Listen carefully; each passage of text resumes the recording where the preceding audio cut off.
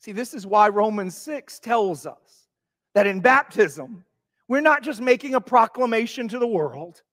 It says that in baptism, we actually die with Jesus and then we are raised up to new life in him. I don't know how that happens.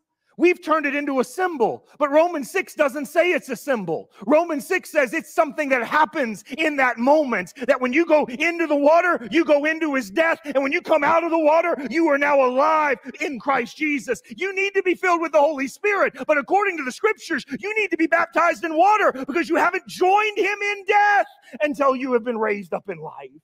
And listen to me, that doesn't make it magical. It makes it part of God's plan. And also, hear me if you haven't been baptized, it doesn't mean you're not saved. It means there's more He wants to do. Ask Him, is this where I should go? Is this what you would desire to do in me and do for me and do through me? His death paid for our sin, and his resurrection gave us a way to live not just with him, but to live in him, in the holy places. That without Jesus, our sin excludes us from those places. So, all our confidence for salvation, but all our confidence, literally for everything in life, rests on the blood of Jesus. Nothing, absolutely nothing is left up to us. Nothing rests on us. It's all on Him, and nothing is too difficult for Him. Confidence in Jesus takes away my anxiety over and about myself. I don't have to be able because Jesus is. My best isn't good enough, but it doesn't have to be.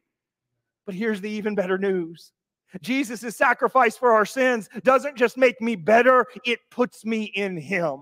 Joanne talks about this regularly. We know that the Holy Spirit is in us, but the scripture says somehow we are in Christ. Hear this I'm in Christ. The reason the Holy Spirit can live in me is because I'm in Christ. That means wherever Jesus is, He's taking me with Him.